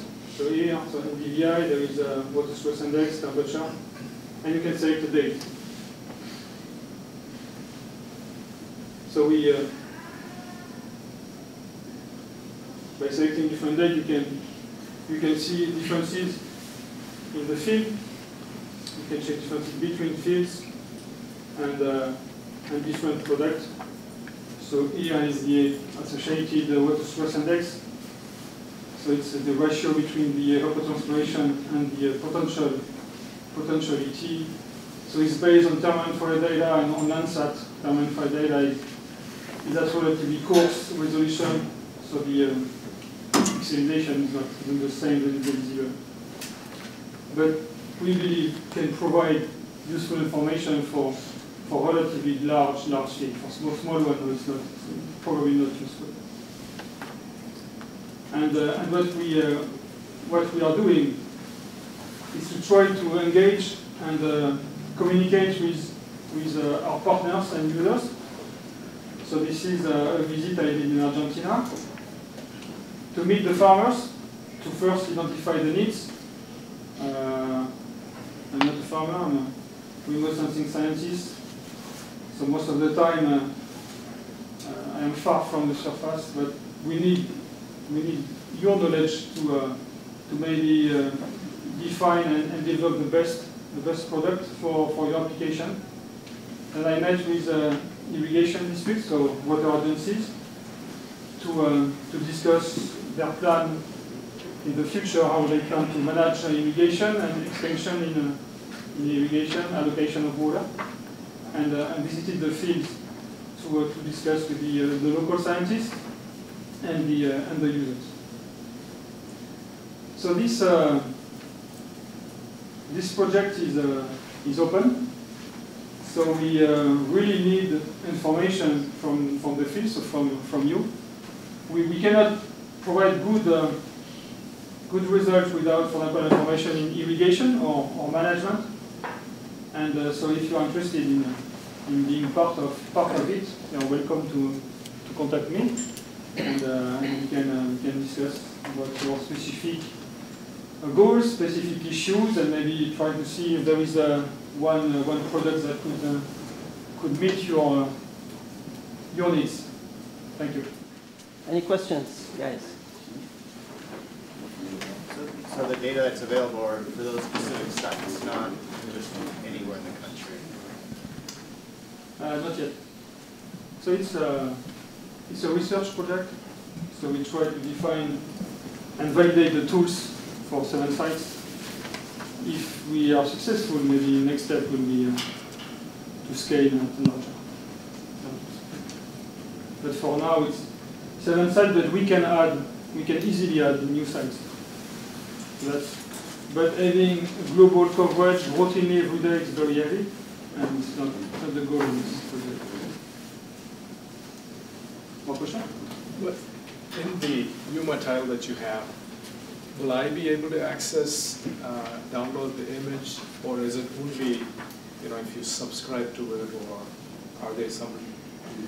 So on the website, no, you cannot, uh, now, but maybe we can easily add it. We cannot download the data, but if you need the data, we can, we can send the data to you. No, no, I'm just curious whether anybody here, can they go and access that particular, any, any part of that image from the Yuma tile? If it still isn't. So this is an example I wanted to show you about the capability. So that my, that's my first visit in, uh, in Yuma. So I wanted to also to be charged and to, to meet you. Uh, for example, if, uh, if, you, if you are interested in the project but you don't want to, uh, to share publicly information about your crops, everything can be uh, private. You can have a password to access privately. If you want the data, you can access all the data you, you want. So NASA is public uh, data, so everything will be available. Uh, if you're interested in the crop model, you can also think about installing crop model in your computer if you want. But we try to develop a tool to facilitate the, the work and the use of data. So, so uh, each satellite data is provided with a different format. So if you want to use a lot of them, you need to do a lot of homework. So with this kind of tools, we try to put everything same resolution, everything visual. And, uh, but if you want the raw data, we can. But that's something interesting. We should, should have an option to put download everything. Our last, last speaker today is Dr. Clinton Williams. We're going to kind of shift gears now and go from evapotranspiration to water reuse. And my presentation is going to be very much an overview of sort of, I think it's important for people who are going to receive the water. And you'll find out that whether you think you're getting reused water or not, you're getting reused water. That when you receive this water, it's important to know what processes have gone, processes have gone into the water so that you can know what might be problems, what might, might be things that are good in the water that you can, that you can use. So, to start with, I'd like to show this, this picture. So, this is, a, this is from the National Academy of Sciences, and it simply shows that in the black line, the black line is U.S. water use, total water use, that's ag, urban, everything. The red line is population, and the blue line is per capita water use. And what you notice there is until about 19, the early 1980s, water use was going up with population. In the, mid, in, in, the, in the 80s, things started to happen. Our per capita water use started to go down. And in essence, if you look at this, when everyone says that we don't conserve water, we're doing a pretty good job. This is all efficiencies. We're bringing more efficiencies into the water system. We're not losing as much water, we're not using as much water. But eventually, who knows how long this will continue to go.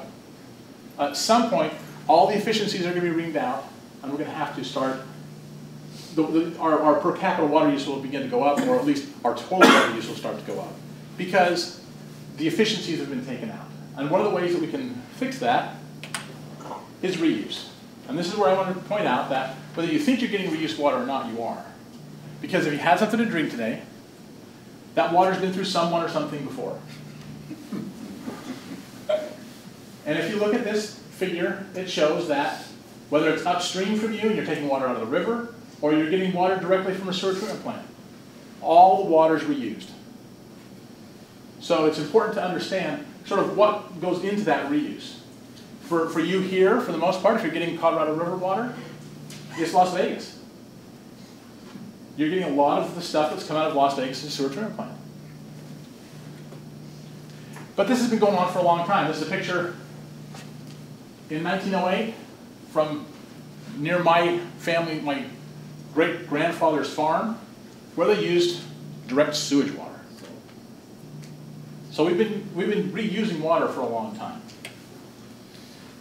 So to get that, to, to, to help you, in essence, a sewer treatment plant is nothing other than a managed system where we use nature to, to treat the water. We manage it and we, ma and we maximize those natural processes.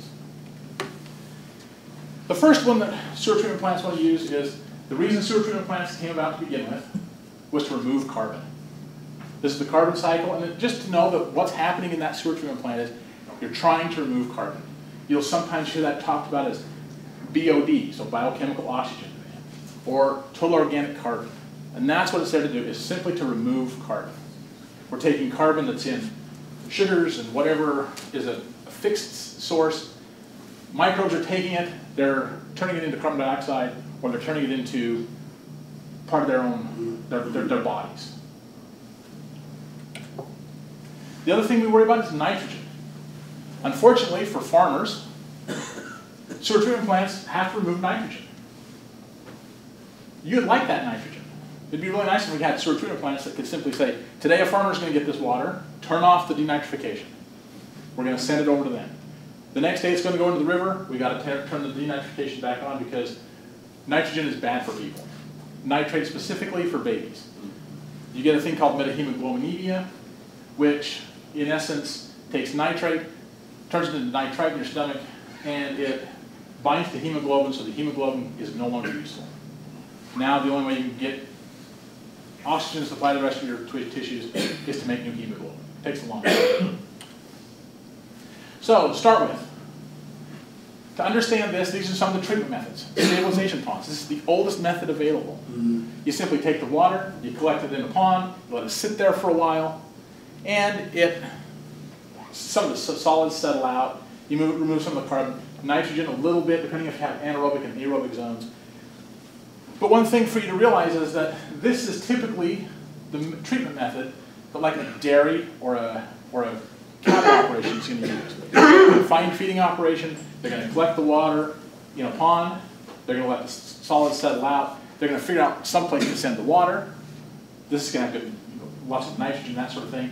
And then they're going to clear out the manure and probably spread it on the field for, as fertilizer. You have facultative ponds. These are ponds a little bit deeper than, and you actually set up zones to try and make them, to, to, to maximize what they do. You get algae growth in the top, you get anaerobic in the bottom, you have aerobic zones and anaerobic zones to try and do some denitrification and sort of make this process go a little bit better. So, as sort of said, it talks about you have these upper aerobic zones, CO2 and uh, sunlight takes a lot of the inorganic nutrients out, nitrogen, things like that, phosphorus, and then they're going to settle to the bottom. This is what one looks like. You know, they're just, they don't smell very good, but they're out there. Then you have a, a facultative pond, can be influenced by things like sunlight and temperature and pH, biological activity. Like in Yuma, one of the things that's going to happen if you are getting water, say from a dairy, they're going to have one of these kind of ponds to hold their water. The nitrogen is going to change depending on it, if it's summer or winter. Because in the summertime, it's really hot, there's not a lot of dissolved oxygen, things are going to grow faster, the nitrogen is going to be denitrified because oxygen is going to not be present. Whereas in the wintertime, all of a sudden now, you might start getting more nitrogen. That's important to know if you're receiving water from this source, because if you're in a situation like if you grow wine grapes, you want to control that nitrogen exactly. And if you start getting nitrogen from a source you're not expecting, that can throw off your entire cultural practice. Typically, the retention time of these is about three to six months. You have suspended solids and BOD removal, some nitrogen removal, phosphorus removal, removal, and pathogen. The thing about pathogens is, you think 99% pathogen removal, that's pretty good. But really it's not, 'cause it doesn't take only one pathogen to make someone sick. So these aren't, these aren't expected for pathogen removal. Then you have aerated lagoons. In essence, you're managing that same lagoon a little bit better. This is what it looks like. You start to add some oxygen, you kind of circulate water around, and what that whole thing is is to try and speed things up. Anaerobic reactions are slow, aerobic, aerobic actions or operations are fast. In these, the other thing that you have an advantage is a much lower retention time, about 10 days. So you don't have to have nearly as big a pond. You get suspended solids and BOD removal, some nitrogen removal, not nearly as much. The reason is because nitrogen removal happens in aerobic situations, not anaerobic situations, or in anaerobic situations, not aerobic situations. Some phosphorus removal and pathogens, again, 20 to 95%. You can't depend on that for pathogen removal. So then we move from sort of these semi-managed to just kind of a place out there to a real treatment plant. This is kind of what a diagram looks like. You bring the water into the head. And if you've ever been to a sewer treatment plant, the only place that smells is this place right here. All the rest doesn't smell. It's not like you expect sewage to be. You're going to run through some sort of biochemical processes. You're going to run through, through clarification to try and separate solids from liquid. You're going to do some sort of disinfection so then you can release the water. And then the other thing that's important, especially for farmers too, is solids handling. That's the biosolids. Those are the things that come out the bottom, they're settled out. And oftentimes these are land applied. This is where you're going to find things like heavy metals, some pathogens. This is where you're going to find more pathogens. And then this is where like things like nitrate and that are going to end up. So the first thing that they came up with were trickling filters. All you, all you did was you took, you've probably seen these, they're big round. You have these arms that spin around in a circle and deliver water. And all it's doing is this. You're running water down through this, this tall trickling filter. They're 10 to 12 feet tall. You run water down through it. You start to do, bacteria grow on these, this substrate, whether it's rocks or plastic, whatever it is.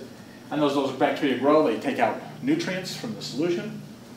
Eventually those films get so big, they fall off, they come down to the bottom. And then, so you're, you've taken your nutrients and put them into a, a microbe that's now kind of fixed, and the water's going to move on beyond, it. Trickling filter processes again. They're going to remove some phosphate, not a lot of nitrogen because it's aerobic. And you're going to get a significant amount of carbon reduction. Because the carbon's taken out of the water, and now it's going to be in what you settle out when you clarify the water. You have oxidation ditches. This is where you get nitrogen removal. If you look here, you'll notice that there are places that look kind of quiescent and, and places that are quite bubbly. And that's because you're adding oxygen. You're just pumping air into the system. Where you pump air in, it goes aerobic, so anything that's ammonia turns into nitrate.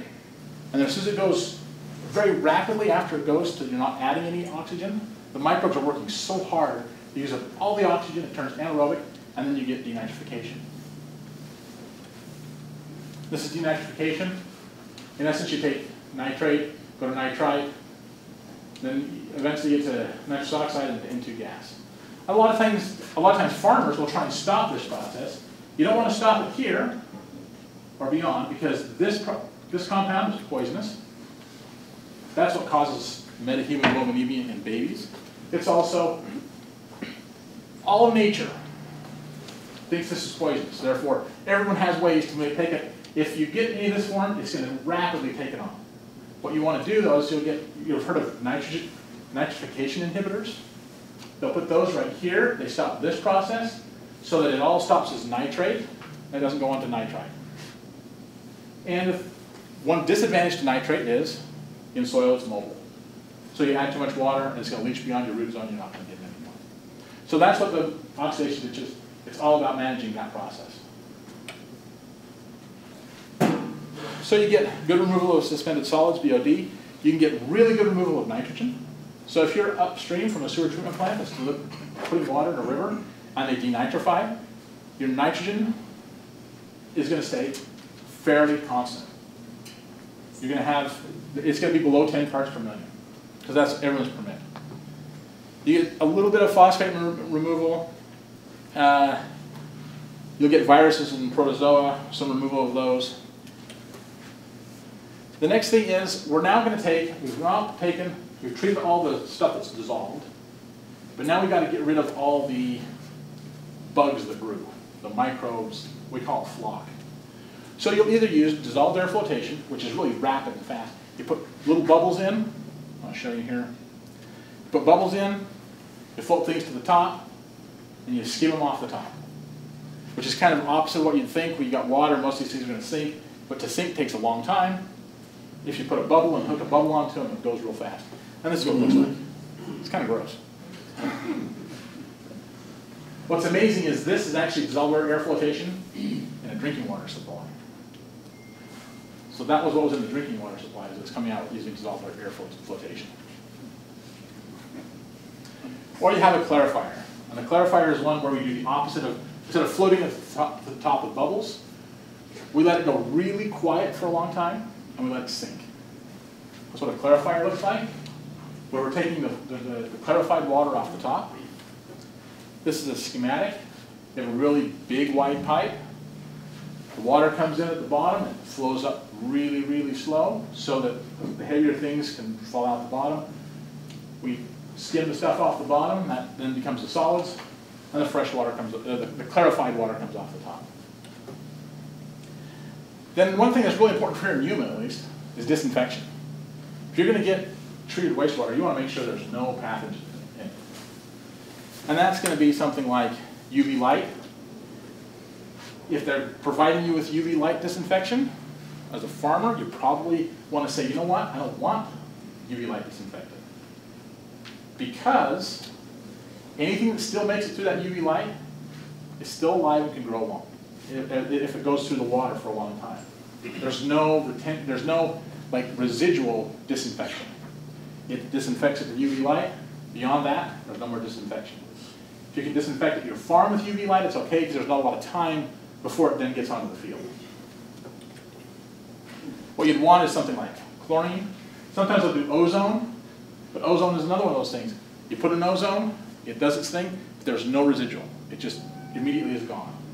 Chlorine, it sticks around for a while. In fact, when you have a drinking water supply, especially here in Arizona where it's hot, and you take the water out of your tap, tap and you're like, wow, this really smells chlorine There's a reason for that.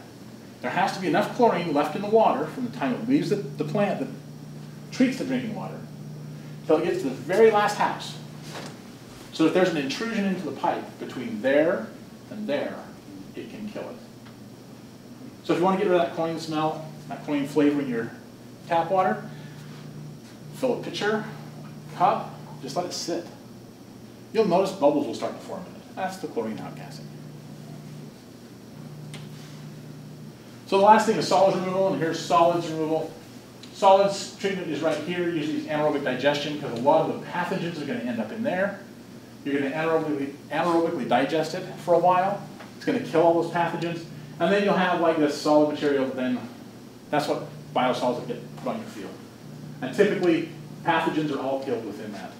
You know, it's like 99.99999% pathogen removal, because all of our pathogens are, for the most part, aerobic pathogens. They, they like, like oxygen. If you can take oxygen away from them, then those anaerobic pathogens, or those anaerobic microbes that grow slowly, but they're really tenacious, and they eat up all those pathogens. So this is what it looks like. You'll hear sometimes talk about primary treatment, secondary treatment, tertiary treatment. Those are all things that you need to understand what they mean. Primary means they've removed carbon. They've lowered that BOD. That's what makes, when they take sewage water and you put it into a river, you know, it starts to kind of smell, gets hydrogen sulfide smell. That's because there's a lot of carbon. A lot of microbes can eat that carbon, it's readily available. Turns anaerobic, you start, any sulfur gets turned in, turned into hydrogen sulfide, and that's what causes the problem. So primary treatment, it's carbon removal. Secondary treatment, they start talking about secondary treatment. That means they've done something like remove nitrogen. Or more frequently now, they're doing some sort of process to remove phosphorus. So that's removing sort of these secondary things that are an environmental problem, but really for a farmer, they're not that, you- actually like have that phosphorus, like to have that. And then if they talk about tertiary, that means they've gone one more step. They've polished the water a little bit better, or now they'll start talking about advanced. So those are the things to think about. If they start talking about, prior, it's been primary treated, you know carbon's been removed. If they say it's been secondary treated, then you know that you've had something like nitrogen, probably nitrogen removed. If they talk about tertiary, then there's been advanced treatment done. It's been, it's been filtered again or something's happened. So, one thing about treatment is nothing happens to salt. Salt stays. There are some ways, I'll talk about in a little bit, that you can get rid of salt, but for the most part, salt stays around. So what do sewer treatment plants look like as far as that salt? So we have salinity. Salinity problem with that is it has an osmotic potential, causes problems in, in plants. Mostly osmotic problems. The plant can't overcome, can't bring the water in, and there's too much salt. So you get yield reduction, and this is a pretty well documented phenomenon. We know about what happens with, if you add so much salt, we have Maas-Hoffman curves that will tell you up to a certain amount of salt, no yield reduction. You go past that point and you start getting yield reduction. And you can look those up. The other problem with salt, in, especially from sewer treatment plants, is sodicity.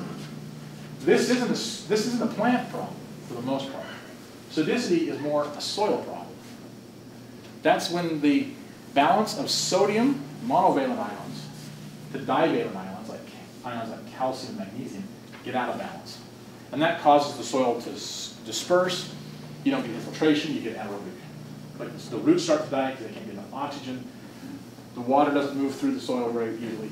And if you have sodic problems in your soil, they're really hard to get rid of. Because the only way to get rid of a sodic problem is first you have to take that sodic soil and turn it into a saline soil and then leach out the, the salts. So here, I don't know if many of you have seen this. This is a table that's been around for a long time. This is Handbook 60 from the USDA in the 50s, and then in the 70s, the Food and Agriculture Organization of the United Nations, they did uh, FAO Publication 29. And both of those, if you want to find them, are online PDF versions, and you can download them, and you get all the tables and everything that are there. That are there. That's FAO 29 and the Handbook 60 from USDA. And it shows that as SAR goes up, so that that imbalance of sodium to calcium gets higher, you have more and more standing waters for you not to have these soil problems. And that's kind of important. I'll show you in, in a minute with some really high quality water, some problems you can run into. So here's actual data from the sewer treatment plant. This is a sewer treatment plant in Arizona. Sampled in winter, spring, summer, and fall. And, and all these were sampled for a whole week. We sampled every 15 minutes, we composited a two-hour sample, took that sample, measured it. So we wanted to see what sort of things were in that sewage effluent. And one of the things you can see is that in winter, if you look here in winter, the EC, so the, or the, the that's the SAR, the red, and the EEC is the blue. The SAR is lower in the winter, and the EC is lower in the winter. As you go into spring, that EC starts to go up a little bit, the SAR goes up. Get into summer, it's, it's higher, and in fall, it kind of comes back down to spring. And if you think about that, it kind of makes sense. And one of the reasons it makes sense is as temperature goes up, there's more evaporation happening everywhere along the line, everywhere the, along any place the water is. When the evaporation happens, the water goes away, but the salt stays behind. Now the one thing to look at this is, though, if you go back to that last table, as, as the SAR goes up, you kind of need that EC to go up with it. Because if the EC goes up, it's more manageable. And in this case, that they, since they kind of track each other, that's a good thing. The other thing to realize is, if you look at this, there's sort of a, you can kind of see it. If you look, there's a little bump, all, those are daily changes. And those daily changes happen because people have soft, water softeners. They have them set up on 24-hour schedules to replenish their resins. So that's when they run the sodium back through the resin. And that's when they flush huge amounts of salt into the, into the sewer. So you have to realize that it may be a situation where if you're getting direct effluent, if you're irrigating at night, it's going to be different water than if you're irrigating in the day. Or depending on how long the retention time is from the time at which it goes through the plant until you get it. So that's a situation where you might want to do a little bit more monitoring. And most sewer treatment plants will monitor for EC, but they will not monitor for the sodium-calcium ratio. It's a little more expensive. So the water we had here, most, most of it was the SAR between six and twelve. And the EC was between one point nine and point, well, 0.5 and one point nine, which meant it's not down here where there's no restriction in the use. But you're in this slight to moderate, so it is a manageable situation. The thing that makes it, that you have to be really concerned about with this is making sure you keep your leaching fractions up. If you don't have your leaching fractions, then that salinity is going to just stay in the root zone and, be, and cause problems for your plants. So here's another one to look at, it's nitrogen and phosphorus. Red is nitrogen, blue is phosphorus. And typically in fertilizer, you think about phosphorus as P2, P2O5, but this is actual milligrams per liter of just straight phosphorus and straight nitrogen. So not nitrate N, it's just N and P. And one thing to notice here is you really see with this, here's those diurnal changes. Those, those changes in how much nitrogen is coming out of, of the sewer treatment plant. If you look at it, that's, you know, it's going anywhere from eight down to about five. So high of, of eight parts per million nitrogen, low of five. One thing about this is, that's a significant amount of nitrogen you can get. If you think about this coming, going on all the time. Phosphorus doesn't change quite as much, but, but it still changes. So if you were looking at just lettuce, let's see how much fertilizer we'll get out of this. So U of A recommends for lettuce between 130 and 100 and 300 pounds per acre nitrogen. If you met all of your ET demands with this water, that's going to give you about 20 to 30 pounds of nitrogen. Depending on how much water you had to apply, what your actual soil test said, you could get anywhere, anywhere between 5 and 20% of your total nitrogen needs for lettuce just out of this water. With phosphorus, between 2 and 5%.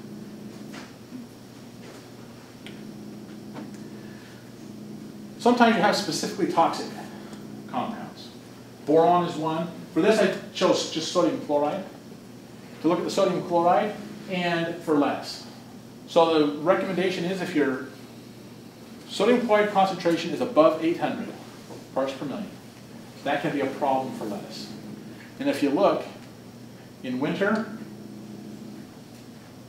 sodium chloride is right around that 800.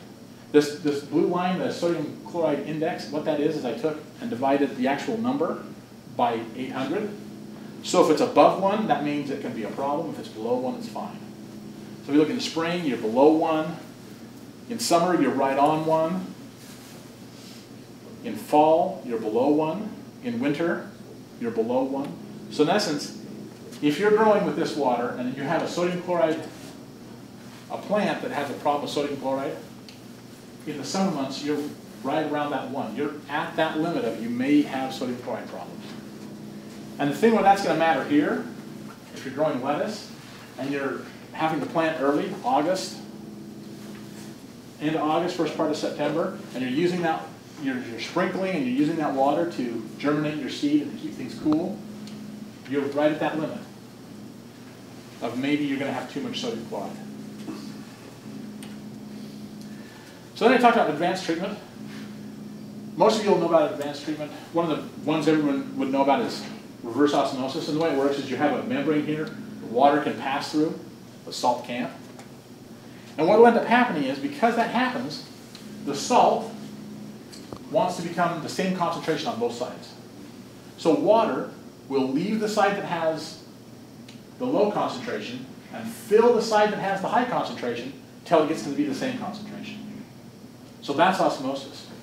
And the way we do reverse osmosis is we take advantage of this and we put pressure on this side and push it down so we can start pushing just the water through that membrane. And for the most part, this is one of the places where if you, someone comes to you and said, yeah, let's put reverse osmosis on your, on, on, on something so you can use the water, it's better water. You gotta be careful of that because about 99% of the sodium gets removed. But about 99.96% of the calcium gets removed. EC removal is about 99.95%. So you think, oh, that's really low salt water, that's great. Well, if you do the calculations, from the water we had, that I showed those, that data, I took the averages from that. The average sodium concentration was 277.3 milligrams per liter. Cal calcium was 57.05, but we remove it, so we remove 99% of this sodium, we remove 99.94% of this. All of a sudden, our EC, our, so the EC becomes 0.01, but the SAR is about 2. So the SAR is 2, EC is 0.01. You think that's really good water. But guess what? You put this on your soil, the first thing that's going to happen to your soil is it's going to disperse, and you're never going to be able to fix it. Because the only way to fix it is now you got to make it saline, so you can leach out those that sodium. So, just because it's really high quality water, and there's not a lot of salt in it, there may be a problem with that water. You need to look at those calcium-sodium ratios.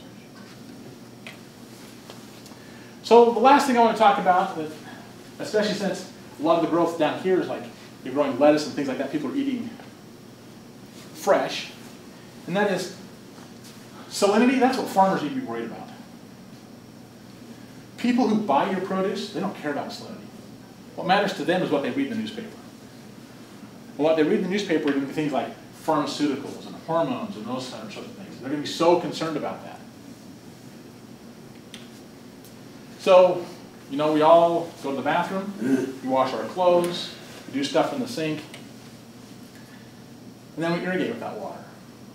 Food crops, we put in rivers, put on golf courses. So, one of the problems we have with, with pharmaceuticals in water is you put a pharmaceutical in water, so when you take a, a pill, no matter what pill it is, anywhere between 10 and 80% of that pharmaceutical that you take, that you ingest, you're just going to excrete. Because you have to get your con the concentration of that pharmaceutical in your body up high enough that can do its thing. But for the most part, your kidneys are removing it, your liver's removing it, things are trying to get rid of it. So 70, on, on average, about 50% of what you take in, you just waste it down the drain. When you do that with an antibiotic, you're putting low levels of antibiotics in the, in the environment, and that's where things like antibiotic resistance start to develop. That resistance can transfer to just soil microbes, and now all of a sudden you have antibiotic resistance happening all over.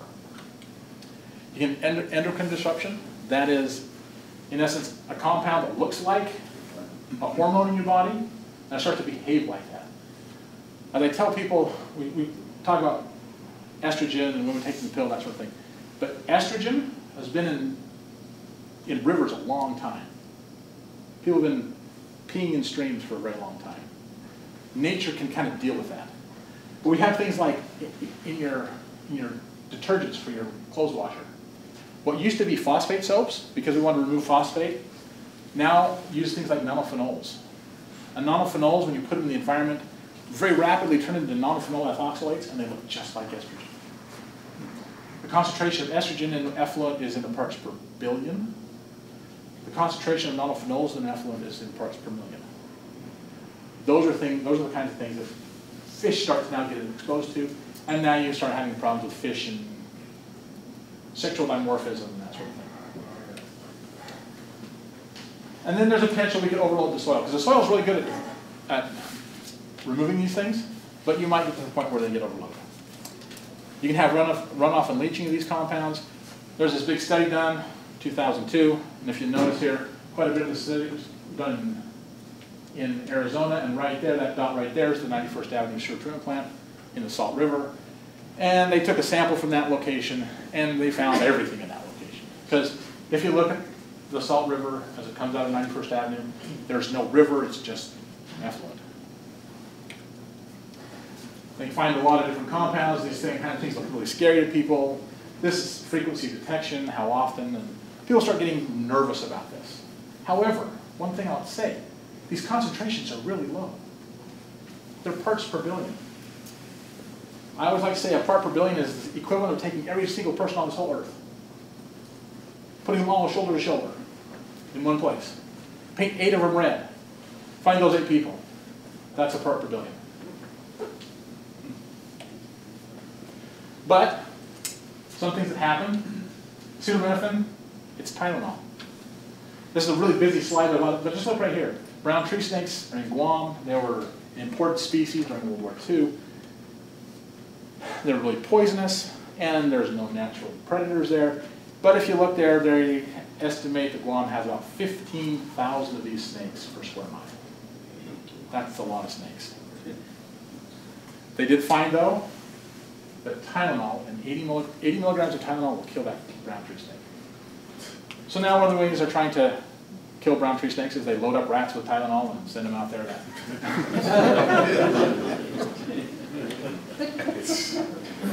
so this is the reason you need to worry about public perception. People are concerned about that. And if you're growing food, in, in, in essence, people start getting concerned and worried. So you do have to know what's going on. And there's potential that these things might become regulated. And who knows where that regulation will happen. The drinking water people, the easiest place to regulate is the drinking water. But the drinking water people will say, well, we're not the source of it, it's the sewage people. The sewage people will say, well, it's just too hard for us to deal with. So who knows, it might be regulated. If you take effluent that has some of this in it, they may start saying, maybe you put treatment on your farm. Mm-hmm. You don't know. So that's why you have to be aware of these issues. So here's a compound, carbamazepine. It's used for bipolar disorder and epilepsy. These are, this is how much is in the effluent. So nanogram per liter, that's a part per billion. Anywhere from 250 down to about 70 parts per billion. And carbamazepine is one of those things that does not degrade. That's why I show that here. It's going to be one of the higher concentrations and you can find it everywhere. But so we wanted to look and see, does this compound go into the? So to get, to get we did have to do some, some experiments about taking it up, up into the plant. But one of the things that was interesting and we wanted to know was what happens depending on when you irrigate. So if you take soil, you simplify it down, it's just a bundle of tubes. Lots of little pores, they're like tubes. If you're in a saturated system, gravitational forces are really high, so water is going to go down. These matric potential sources, the, the ones that hold the water in the soil, are really small in comparison. So it's leaching. As soon as you hit field capacity, they become the same. So there's nothing leaching out, it's all being held by the soil. As it dries down, these matric potentials get really, really high. And that's what causes a plant to undergo water stress. It can't get the water out of the soil, the soil holds on to it tighter than the plant can get. So, you're all probably familiar with this term, available water, so that's between field capacity and permanent wilting point. But we never go to permanent, permanent wilting point before we irrigate. We always irrigate before that because we don't want to have any yield loss. So here's a situation to just show sort of how that works. Depending on your soil type, there's field capacity for, there's uh, permanent wilting point, and there's where you typically irrigate. So for a clay soil, that's how much water you typically have available. If you look at a sandy soil, that's how much water you typically have available. It's tiny because the water's all leached out or is all drained out and there's very little water that's being held there for you to use. That's why everyone wants a nice loamy soil, because you see here it has the highest amount of available water. So we ran an experiment where we wanted to measure what would happen if we took, put this compound, compound on a plant, will it be taken up into a food crop? We grew radishes, and here's sort of a take home. This is just actual concentration. So we irrigated, this, this number right here, this 17, is in essence, we irrigated at one bar. So we let the water, the soil dry down to one bar. So that's typically where you would irrigate at. On these here, we irrigated at less than one bar, so we irrigated the same amount of water, just more often. And we, none of these were ever water stressed. We just simply let them, but we wanted to look at the difference of this matric potential effect. And as you see here, in the bulb, there's a little bit of an effect, and not much was taken up, which is great, because that's what you eat in- in radish for the most part. But look at this, in the leaf. That goes to show that this compound was simply going with the water, going into the leaf, and when the leaf evaporated the water out, it left the compound behind. So if you translate that to say the lettuce, lettuce is what you eat. You eat the part that's evapotranspirating. And so you're gonna have more of this compound there. Now, these are all really small numbers, so don't let me think that I'm trying to worry you that you're putting drugs into your, that drugs are in your lettuce. But it's something to be aware of, because it might become an issue down the road. And if you're aware of it, you can start to combat it. And one of the things you can do is, if you can irrigate more often, a lot less goes in. Because here's the last slide, sort of the one that shows it, and that is that if we normalize for how much compound was actually put on, more of the compound ends up in the leaf if you let it dry down longer between irrigations than if you irrigate more often. And that's probably due to the fact that you're getting some concentration around the roots, and you're getting, there's some exclusion mechanisms that can occur, and you're just overcoming those exclusion mechanisms. So, and again, these are really low, low numbers. You'd have to eat, by definition, these are all drugs you take like, you can't say they're poisonous because they're prescribed for people to get them better. However, if you were to take this, this lettuce or this radish leaf and eat it, you'd have to eat thousands of pounds a day, every day, to reach any sort of therapeutic dose. So with that, I'll take any questions. Did you scale this up? You were concerned about the sodium absorption, absorption ratio uh, when we revert, uh, do reverse osmosis. But then we're applying a ton of calcium with our fertilization. Wouldn't that balance out the sodium that stays? Sometimes it depends on how you get it there. If the calcium is always being applied with the water, you're fine. But if you happen to put the water on before you've put any of that calcium on, then you're gonna disperse those soils right away. And then it's gonna be hard to get any water through. A prime example is in the San Joaquin Valley, on the, on the east side, we always hear about the west side of San, the San Joaquin Valley, because that's where they have high groundwater tables and the selenium. and- And so they're always trying to figure out how to irrigate and drain. If you go to the east side of the valley, you're in a situation where the water that comes off of the Sierras early in spring is so clean, it is so pure, that if they apply it to their soils right away, they can sometimes disperse their soils.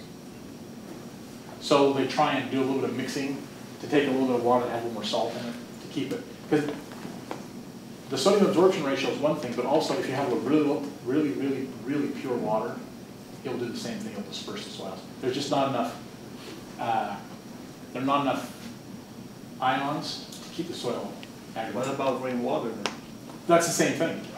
In fact, I it- tell is people, it- yeah, Does it disperse the soil? it does. I tell people in, in the Phoenix area, if you really want to get the most out of your rainfall, when it starts to rain, go turn your sprinklers on for about the first five minutes.